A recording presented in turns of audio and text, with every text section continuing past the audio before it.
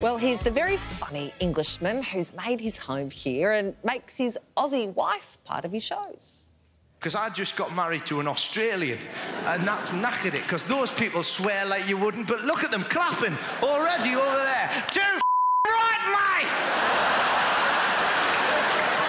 mate! Yeah, she looks like an angel, sounds like Alf off Home and Away. There you go. I say she looks like an angel. I mean metaphorically, obviously. I don't mean she walks around in the nude playing a harp. I've asked her, she won't. The very funny Ross Noble joins us now live from Adelaide. Hello. Hello. Hello. Uh, that's bizarre. That's very. That's a very old clip. That. like I said, I've just got married and I've been married for a long time. I mean, we've been, we've been together for 22 years, and I'm just going. I thought Adelaide had just it, been really hard on you. yeah, exactly. Yeah, it's like that um, M Night Shyamalan film. You arrive in Adelaide and you just no, you don't. Come on, I love Adelaide. How good's Adelaide? Adelaide? Adelaide does freak me out though because of the city of churches, you know, and you've got a church on every corner. And when I first came here, I thought it was one church that was following me, you know, just looking around like that. Hey, um, you're there for the Adelaide Fringe. Uh, am, what yes. can we expect from of, from you from you this year? More stories about your wife? Yeah, well, you know, it sounded terrible, didn't it? Like I mentioned that in a show like 15 years ago, 16 years ago, and I went, "Oh God, am I the guy that my wife? I tell you what, my wife, my wife." Uh, no, you know what you can expect from me It's, look, there's never a theme to my show. It's all just random, and I think, I think now especially, what I can guarantee is, I think we all need a bit of, uh, bit of escapism, you know. So you're not going to learn anything from the show. You're not going to grow emotionally, you know. It's just an hour of absolute nonsense. But I think that's what people need at yes. the moment. So, yeah. You're dead right, yeah. yeah. You're really selling your show there. You've been performing your new show on the go. No, it's good. It's good. Let, no, no, don't get me wrong. You'll laugh. You will laugh your backside off for the whole time. But if you expect to come away having been emotionally enriched, it's probably not the show for you. It's not a but teachable it's, moment. It's for, exactly. That's what I should have called it. Ross Noble, not a teachable hour. if if we can't make it to the Fringe Fest, this is just ahead of a national tour as well. Yes. It must be very exciting when you have a new show out. Um, but at the same time, it must be very nerving because you have to test out new content and jokes. How's that?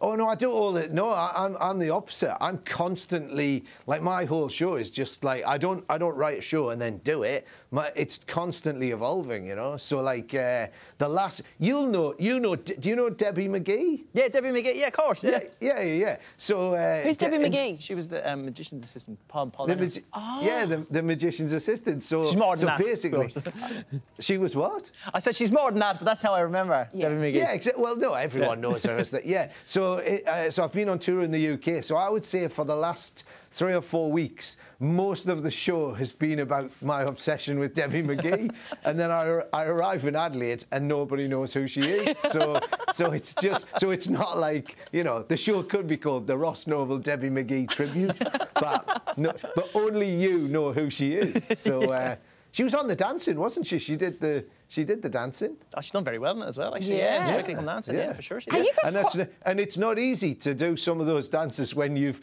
all your life been sawed in half. yeah. You know? that's the real magic. Yeah. She really does have two left feet. You... Uh, hey, uh, you just came yes. back from the UK, as you mentioned, and you got quite the homecoming, didn't you, when you arrived in Adelaide? You, um, you got very up close and personal, and your taxi driver was involved as well. Yeah, what happened? Was, yeah, yeah, yeah. Well, I arrived because I just got back. I was classed as an international arrival, and and you have to do, you know, you have to do a PCR test when you first arrive. Because mm. I got off the plane, I just I looked at the thing and realised it was like a drive-through clinic. So I got the taxi driver to. Uh, I just got in a taxi, went where to, and I went uh, and I told him the address, and he pulled up and he went, "This is a COVID testing facility." and then uh, yeah, me and the driver sat in the taxi for about 45 minutes, not speaking at all. And then uh, the, we drove the, up. The meter clicking over.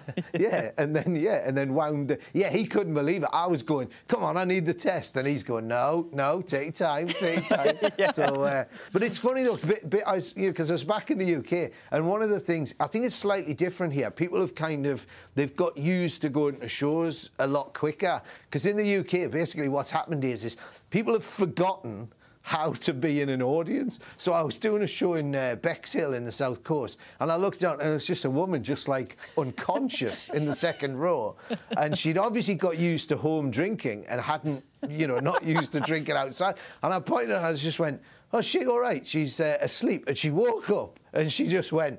I really like you, and then proceeded to climb on the stage in a drunken state. But she was so drunk, she was crawling around the stage, and it was like you know the sheepdog trials where the shepherd's there, like, come by, come by, come by.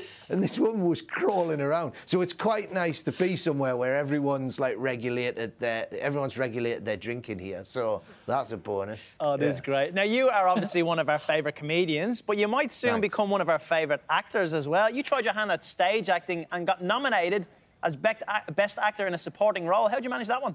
Yeah, uh, because I am a song and dance man. I love it. I absolutely love it. You're a triple yeah, threat. Yeah. I, I, won, I won the uh, I won what's what's on stage. I actually won it, but the Olivier Awards, which is a little bit more highbrow, they just went, "Nah, you can have a nomination. We're not." It, it went to the bloke out of Hamilton, and. Uh, yeah, and now my kids are obsessed with Hamilton. So now every time they mention Hamilton, I just go.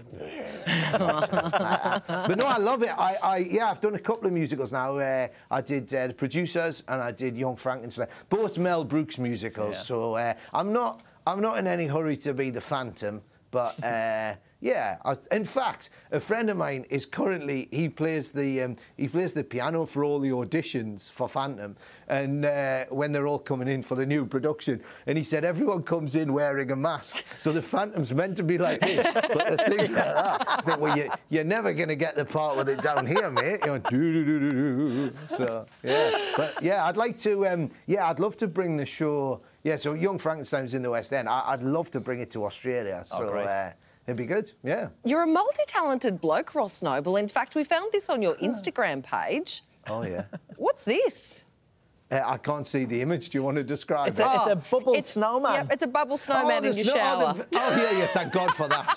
oh my God, that could have been that Charades. could have been that could have been very very dubious, couldn't it? How do you explain this? Amusing oh, yourself no. in the shower. Go ahead. it was just it was it was a, you know the goat was trapped in a fence. So I was trying I was freeing him. Um, the, uh, I do a lot of work for the RSPCA and I post it on uh, on Instagram. Uh, I uh, no, what it was is because I was so because I didn't want to catch COVID. I still haven't got it. So I've been uh, stuck in these hotel rooms. Like I'll do, go from the hotel straight to the show, do the show, back to the just don't mix with anyone because I'm trying to you know stay in a bubble. And I was so bored that I ran a massive bubble bath and created all these bubbles. And then I got all of the bubbles and I put them in the shower. and I thought, I'm going to make a snowman. I'm going to make a hotel snowman. But if you look carefully at the picture, what you'll see is I was using the tops of the shampoo bottles for oh, eyes. As eyes. You see? But the problem is, and this is a tip for any amateur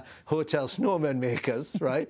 or snow women makers, uh, get the eyes. If you put them on the bubbles, they drop down through the bubbles. Mm. So what, what you have to do is you have to get a piece of uh, tissue paper, like a toilet paper, or possibly, you know, those wipes that the ladies use to remove the eye makeup. Yes. And you put them on the bubbles and then you put the top of the bottle on there.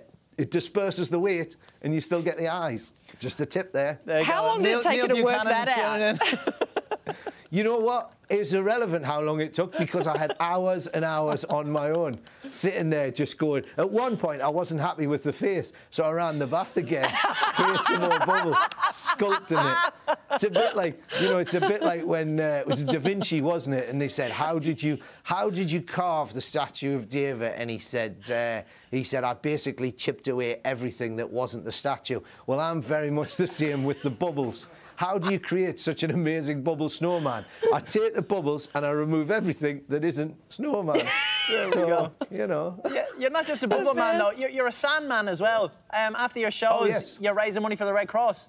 That's right. Yes. So I was on. Uh, I was on a, a program, uh, a celebrity-based program where you uh, attempt to become an apprentice. I can't say the name because it's on a different channel. But I was on that show, and one of the uh, and the, uh, the the thing that got me into the final was they gave me a pile of sand, and they said you have to sell that. So I created this thing called Cursed Sand, which is an envelope, and it's got a description of how uh, Howard Carter and Lord Carnarvon discovered the cursed tomb of Tutankhamun, and they're both dead now, and therefore the curse is true. I mean, they died in 1922, but let's not go into that.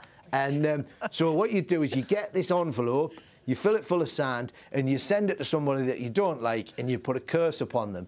And it's basically just an envelope with some pictures and writing on it, but we, so we, I was raising money for the Red Cross. So after every show, I've got some volunteers on the door. If you come along, I've signed a load of them. You can get your very own, as seen on TV, different, different network, and then all the money's going to go to the Red Cross, and it's going to go to the to people affected by the flood. So uh, oh, well even done. if even if you don't enjoy the show, you can come and get yourself some uh, sand and do a good thing at the end of it. So it's it's win-win. You're the best, Ross Noble. My my face hurts oh, from laughing yeah. with you. Uh, for tickets God to see you. Ross, you can head to the website, rossnoble.com. Uh, go have a great time in Adelaide at the yeah. Fringe. Cool. And I'm all around the country as well. And I'll hopefully come and see you in person. I'll prove I've got legs. Oh, we'd love we to love see you. Make We'd it a day. Catch you soon. All right. See ya.